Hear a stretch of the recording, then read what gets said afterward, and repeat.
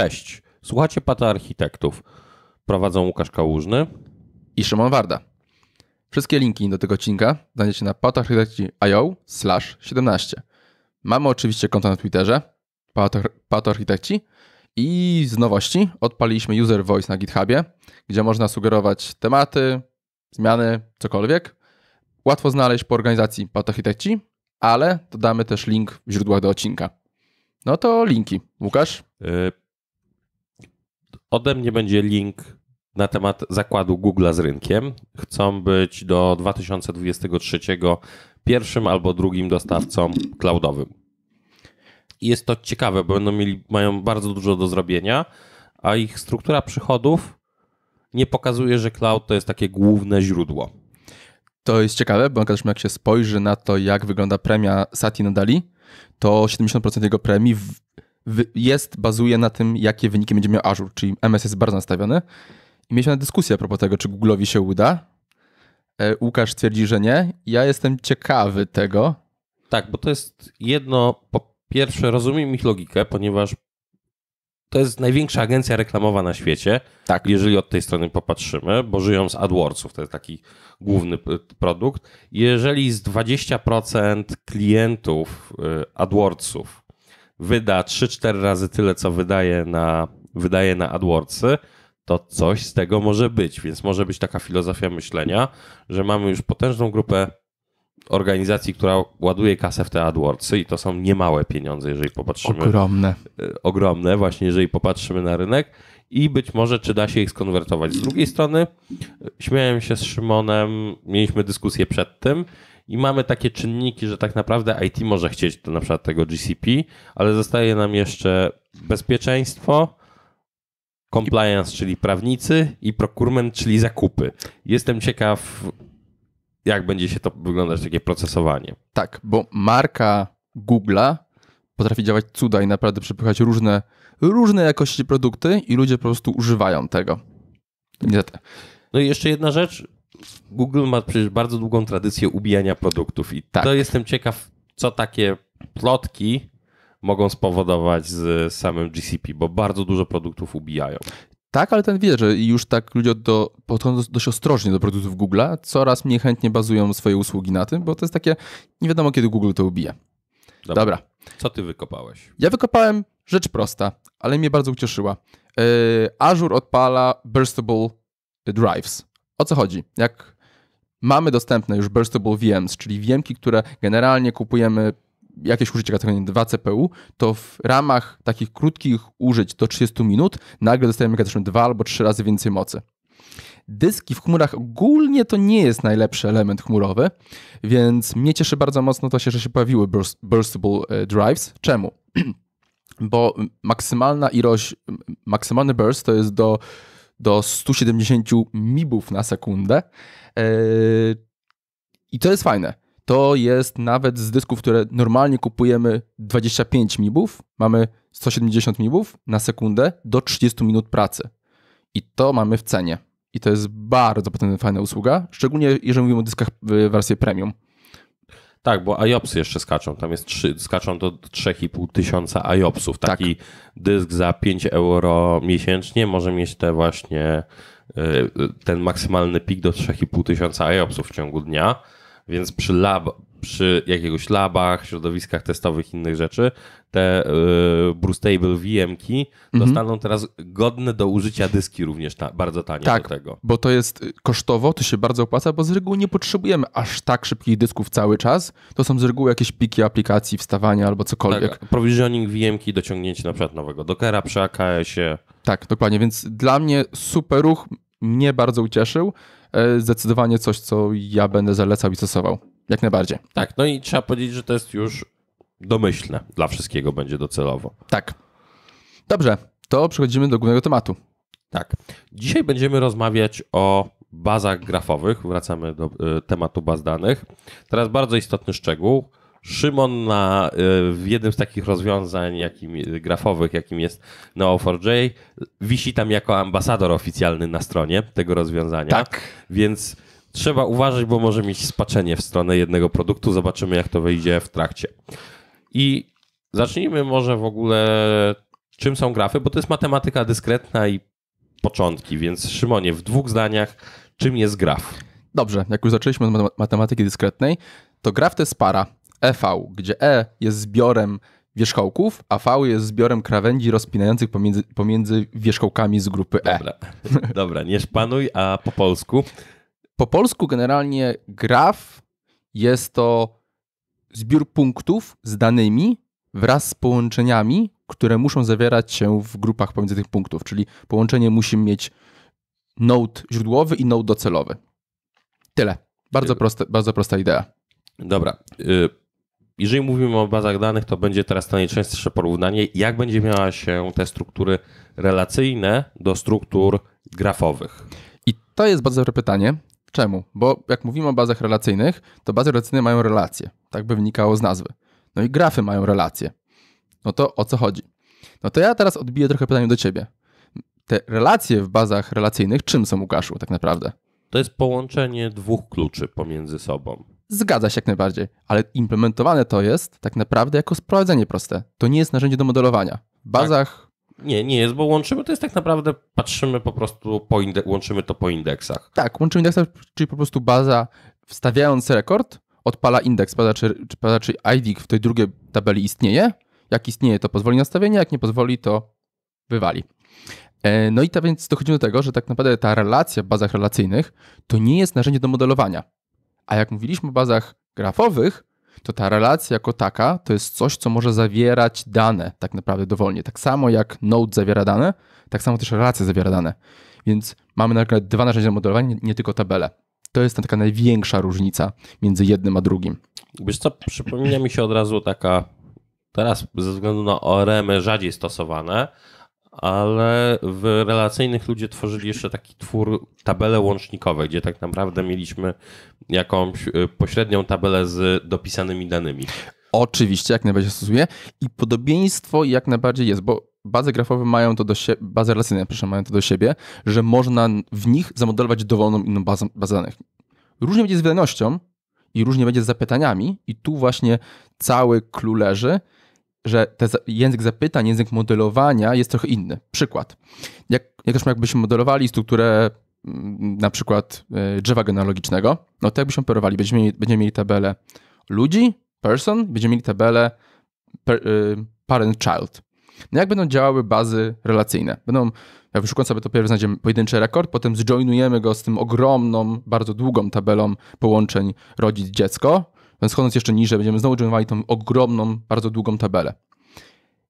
I tu się zaczyna pojawiać pewien problem, no bo za każdym razem robimy joina po bardzo długim zbiorze. A w grafukach wygląda to inaczej.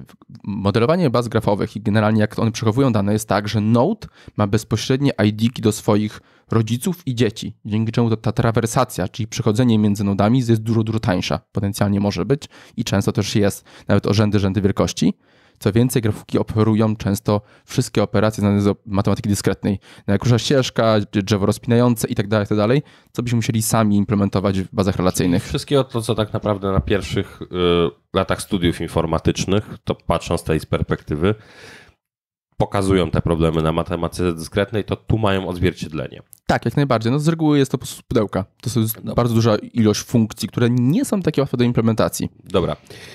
I mówimy tutaj w kontekście teraz, poszliśmy trochę bardziej akademicko, tak. częściowo. I przejdźmy teraz do praktyki. Kiedy w takich zastosowaniach biznesowych, takich w tym, co spotykamy się na co dzień, te bazy grafowe mogą mieć sens? Jakieś przykłady? Jasne. Najczęściej przychodzi z reguły social media do głowy, czyli Facebook, LinkedIn i tak dalej. Co realnie bywa używane, ale nie jest tak często. Taki realny biznesowy przykład, jak już mówimy, to jest kilka tak, tak zwana cała grupa baz wiedzy, bo właśnie bazy grafowe są często wykorzystywane do przechowywania wiedzy, budowania baz wiedzy. E, pranie, wykrywanie prania brudnych pieniędzy. Tam są też właśnie wykorzystywane dość często. Modelowanie uprawnień w systemach, jak pomyślimy o rolach, grupach, użytkownikach, to y, często widuje faktycznie. I do systemów rekomendacji. To też bywa bardzo ciekawy obszar. Dobra, to może zacznijmy po kolei przez te typy jak pasują do bazy wiedzy, bo to chyba nie chodzi o samo przechowywanie zawartości, tylko bardziej modelowanie i wyszukiwanie po tych strukturach, żeby znaleźć połączenia. Jasne, to pójdźmy przykładem. Załóżmy sobie, że mamy New York Timesa i to jest, autenty- to jest realna implementacja. którą korzystają. No jesteśmy dziennikarzem i byśmy chcieli mieć informacje o danym przedmiocie, produkcie, haśle tak naprawdę. Możemy googlać, a tam jest wiedza nieustrukturyzowana. Słabo. Załóżmy sobie, że w tym momencie tak naprawdę, że mamy taki system, mamy hasło Apple. Może to być nazwa jednej z popularnych firm, e, firm IT, ale to też jest nazwa wydawnictwa Beatlesów, to też jest nazwa e, jednej z par partii w Rosji i tak dalej, tak dalej. Tych haseł pod kątem Apple, jak wejdzie na Wikipedię, jest chyba 20 parę. Dużo. No i teraz jak tu zbudować wiedzę? Można zrobić prosty myk. Mamy jednego noda Apple, i potem od niego robimy krawędzie. Na przykład załóżmy, że jeżeli ten node jest typu na przykład firma, to przechodzimy krawędziami, na przykład to jest pracownikami, zyski i tak dalej, tak.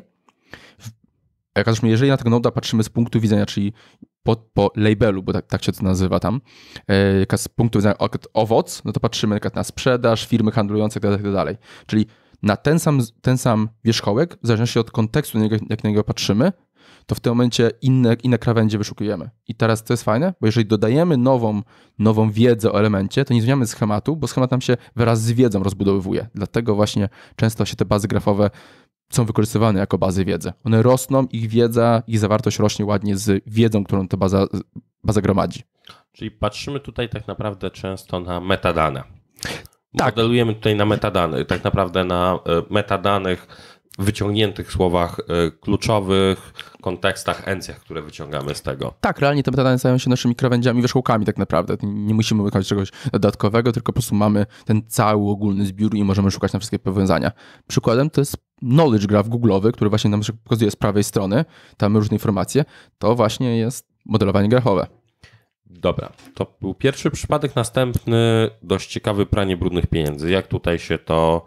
Bo ty mnie zaskoczyłeś akurat, jak wygląda właśnie grafowe w kontekście prania brudnych pieniędzy. Jasne, i to jest w ogóle fajny przypadek, bo parę lat temu było, był tak zwany przypadek Panama Papers, czy wycieku 4 czy 5 terabajtów danych o tym, o te offshore accounts, czyli gdzie ludzie umieszczają pieniądze, grube pieniądze na, w rajach podatkowych. I teraz co się dzieje? Oni dostali kilkaset tysięcy faktur, dokumentów. I teraz jak do tego podeszli? Bardzo prosto. Stawiali każdy dokument osobno, i mówili dokument, na tym dokumencie widnieją te, te osoby, jako w tych, tych, tych rolach, czyli mieliśmy node, node był dokumentem, role były e, typ, typem krawędzi i potem kolejne osoby były kolejnymi nodami.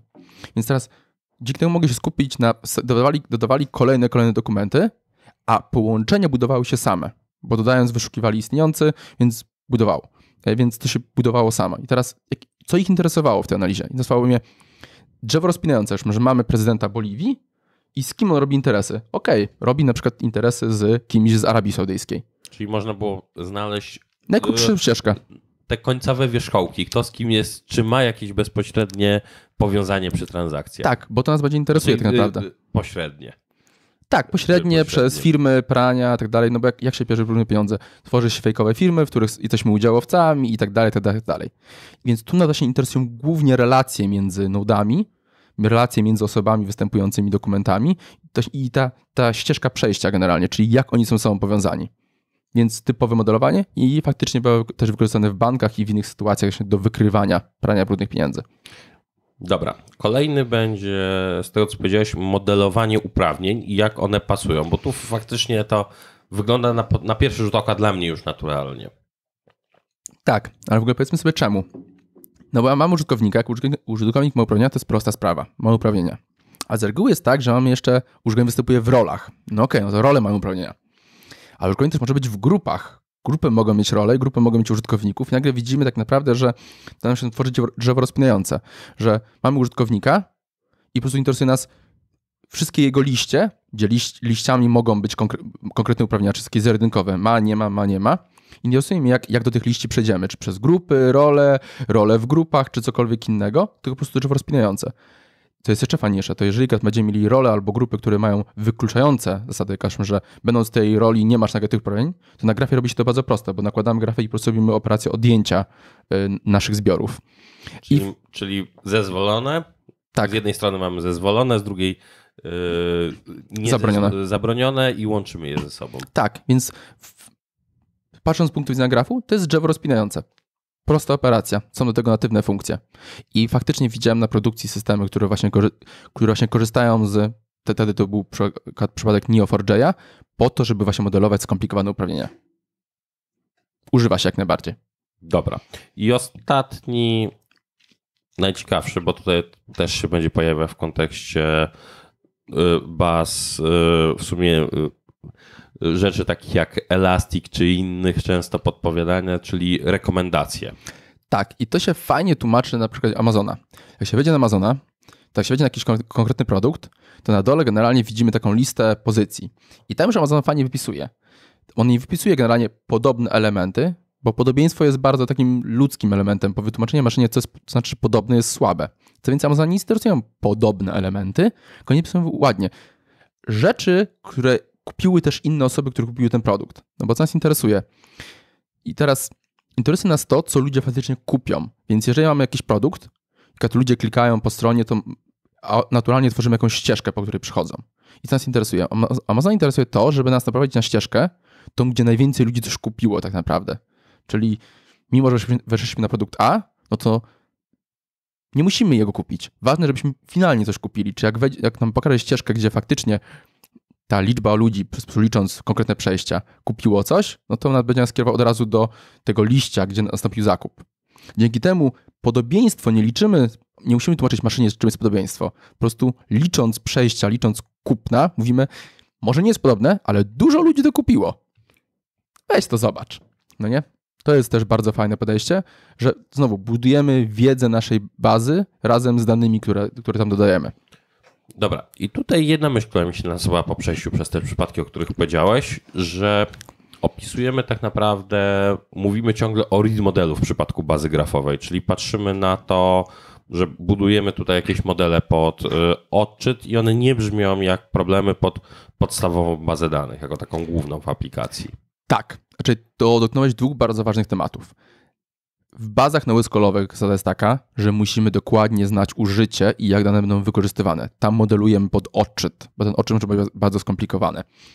E, druga rzecz to jest to, że faktycznie z reguły, czy ja bym nie dał bazy grafowej jako głównej bazy w systemie z kilku powodów. To nie jest baza do przechowywania wszystkiego, to jest baza do przechowywania relacji i niczego właściwie więcej. E, drugie, te bazy bywają, są trochę mniej. Bazy relacyjne mają 50 lat prawie, bazy grafowe mają 12, 15 często.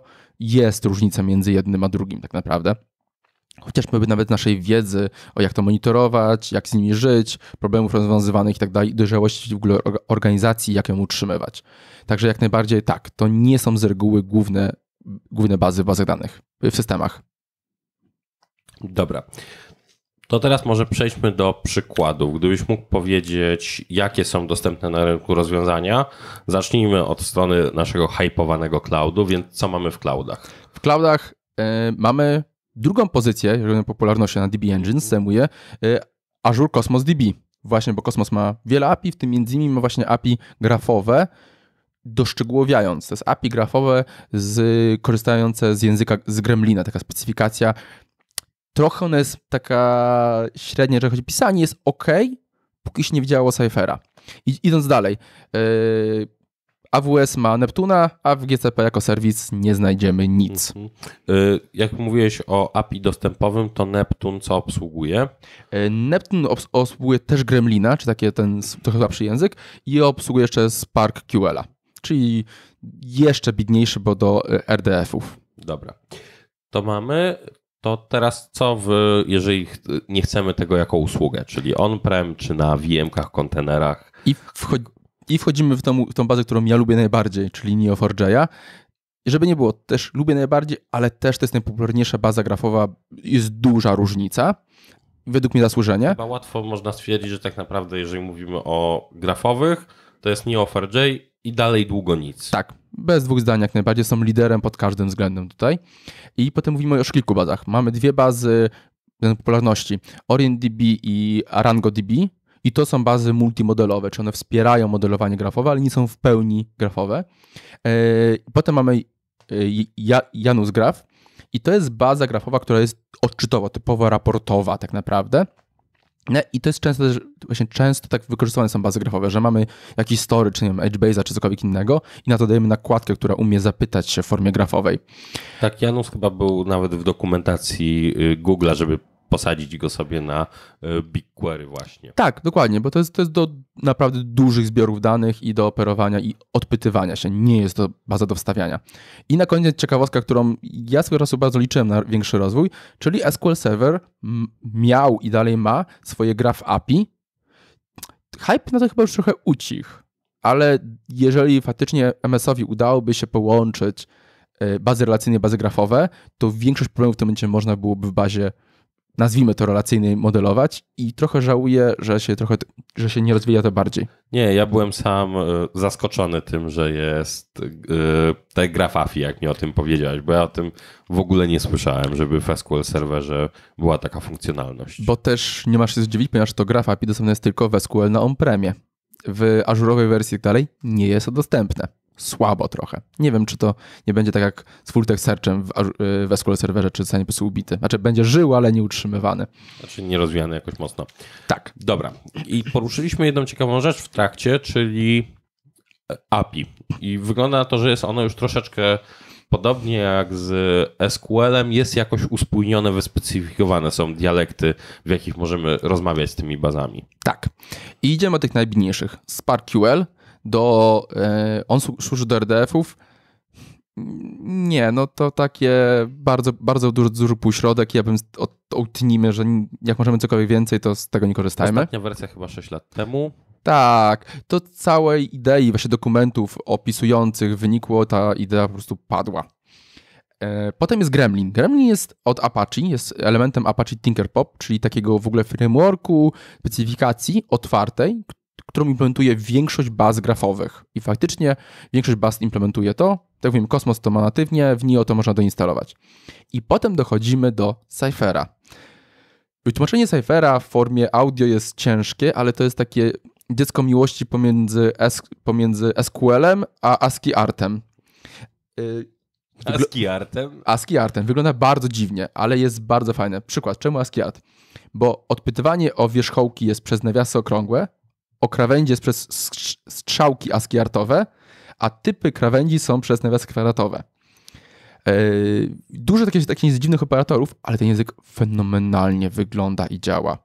Jest tak samo jak SQL, jest bardzo deklaratywny, na przykład możliwości przejścia generalnie, ile razy chcemy przejść, między, ile, ile, przez ile relacji chcemy przejść, robimy po prostu przez s, y, kropka, kropka, gwiazdka, to będziemy przechodzili cały, będziemy tworzyli całe drzewo rozpinające i naprawdę jak się go pokazuje, to na początku jest taki, ale w ogóle o co chodzi? Po z reguły 10 minutach jest, ok, rozumiem ten język, jest to fenomenalne. Ja teraz przeglądam, y, dorzucę linka do tego Cypher Basics od y, Neo4j i faktycznie wygląda jakbym rysował topologię sieci czy czegokolwiek tak. Y, w ASCII-arcie, co się zdarza czasami na jakimś messengerze, czacie, tak. wpisywać ścieżki połączeń innych rzeczy. To faktycznie to przypomina. E, to jest ważne, ponieważ w bazach grafowych z reguły to, o co się odpytujemy, to o schemat połączeń tak naprawdę, więc ten ASCII art właśnie to, co powiedziałeś, że rysujesz jakieś powiązanie, tak, bo to właśnie o to chodzi. To nie jest tak jak w bazie danych relacyjnej, że mówimy o tej tabeli zacznij i szukaj dalej, to mówimy, że znajdź mi cokolwiek, co pasuje do takiego, taki, takiej ścieżki. I co jest fajne w Cypherze? Cypher stał się Neo4j to ustandaryzowało i już coraz więcej baz zaczyna adoptować podzbiór e, Cyphera. Swego czasu Kosmos miał na tapecie właśnie implementację, ale na razie odłożyli i oficjalnie wstrzymane będą ogłaszali, co z tym zrobić. Jak Kosmos będzie miał Cyphera, trudne wyzwanie, to to będzie bardzo fajny argument, żeby w końcu mieć hostowaną bazę faktycznie grafową. Dobrze. To teraz zadam te bolące pytanie. Problemy. Problem naturalny, który jest bazami grafowymi, to jest to, że to są dane, gdzie zależy na połączeniach, czyli te dane są wysoce połączone. A jak są wysoce połączone, to shardingu do bazy nie zrobimy, czyli rozproszenie tego na wiele serwerów jest trudne i prawie niemożliwe. Znaczy, jeżeli biznesowo nam to się rozdziela, super, rozdzielmy to. Ale taki clustering i tak dalej, nie. Neo4j działa w formie y, primary, secondary, tak samo jak baza relacyjna, bo też jest bazą niejako wyższego poziomu niż baza relacyjna. Kolejny problem to jest jak podchodzić do modelowania. Musimy znać model odczytowy, żeby faktycznie dobrze to zamodelować, bo jak zrobimy to źle, kopnie nas to z taką prędkością i z taką siłą, że ten system może się bardzo wrednie złożyć. Ostatni element jest to, to nie jest baza do przechowywania wszystkiego. Bloby? Nie. Duże stringi? Nie. To jest baza, w której trzymamy tylko i wyłącznie dane, które są, które są potrzebne przy trawersacji, czyli przy szukaniu tego grafu, czy znajdywaniu połączeń między nodami. Nic więcej. Te bazy najlepiej, najlepiej się czują, jak są pamięci. Czyli jest to taki przy in-memory jest dobrze. Y, dobre modelowanie, faktycznie te bazy z reguły są mniejsze, no bo też bazy relacyjne jak my na nie popatrzymy, to z reguły to, to, co nam rozwija, to są enwarczary, bloby i te inne rzeczy, więc trzeba trzymać je w miarę w ograniczonym zakresie. Okay. Dobra, i jedna rzecz, o której nie wspomniałeś przy problemach, mi się będzie rzucało zawsze, co z backupami, bo tak samo było wskazywane to przy Keyvalue. I to są już bazy, które generalnie tak samo jak bazy, głównie w tym już mówię o Neo4j, e, bazy, które tak samo bazy relacyjne są transakcyjne, mają wszystkie wyzna wyznaczniki transakcji, więc tu backupy już mamy wsparcie normalne, ale tak, tak, tak samo jak to, jak to bywa w bazach e, relacyjnych. Te backupy trochę zajmują, ale wsparcie jest, można je backupować i to są bazy persystentne. Jak Neo4j jest, zapisuje faktycznie i potwierdzenie transakcji jest, jak już te, te bajty trafią na dysk. Więc to już jest ogarnięte. Nie bałbym się tego obszaru. Dobra. W sumie chyba przy backupach, bo ja nie widziałem po prostu na przykład w tulach e, enterprise'owych, Mhm. Nie widziałem wsparcia w ogóle, żeby jakakolwiek tak. się. Wiem, że Neo ma jakiś ten swój wbudowalny tool command line'owy i tyle. Resztę trzeba sobie oskryptować. Tak, dokładnie. No to, to, nie są bazy, to powiedzieliśmy, relacyjne 50 lat.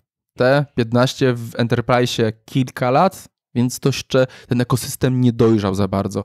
Takich pierdół, ale problemów nie okazaliśmy. Problem jest to, że Neo4j trzyma transakcję w pamięci całą. Czyli jak mamy powyżej iluś elementów update'ujemy, no to będziemy mieli out of memory. Więc ta dojrzałość tych baz nie jest taka super, ale da radę to obejść. Są sposoby na inne modelowanie, inne podejście. To jest kwestia zmiany mentalności. Dobra, to może teraz podsumowujmy. Ja rzucę od siebie pierwszą myśl, a potem chciałbym, żebyś to yy, dokończył. Dla mnie to wygląda jak na idealne narzędzie, jeżeli ma się jakiś konkretny problem, który da się y, zaadresować właśnie teorią grafów. Tak. Wychodzimy od tego, że to nie jest narzędzie, które może użyć użycia od startu. To jest narzędzie, które jak się ma problem, to ono rozwiązuje fenomenalnie, głównie dlatego, że musimy doskonale znać biznes i jak będziemy się o te dane, będziemy się te dane odpytywali. Bo co powiedzieliśmy, modulujemy pod odczyt, nie, nie modulujemy tam świata rzeczywistego, więc jak najbardziej trafiłeś tutaj w dziesiątkę. E, z rzeczy, które ja mogę do siebie dorzucić, to mimo, że nazwy są podobne, za każdym razem, jak robię szkolenie, prelekcje, cokolwiek, to jest bazy grafowe nie są zastępnikiem absolutnie dla baz relacyjnych. Relacje tu są i tu, to są zupełnie inne relacje. Yy, moja ogólna zachęta to jest, co daję prawie wszystkim deweloperom, to jest to, jak zaczynacie projekt, zacznijcie od baz relacyjnych. Od nich można ewoluować na dowolny model, spokojnie, ale dopiero jak będziecie znali mechanizm zapytań i jak dane są używane. Relacje są super startem, nie są w niczym fenomenalne, nie są w niczym najgorsze, są ok. Potem ewoluowanie do baz grafowych jak najbardziej. Tym bardziej, że grafowe z reguły nie są tym single point of truth. One z reguły służą do odczytu czegoś, więc po prostu napychamy je tak, jak potrzebujemy. I chyba tyle. No to kończymy. To kończymy. Na razie. Na razie.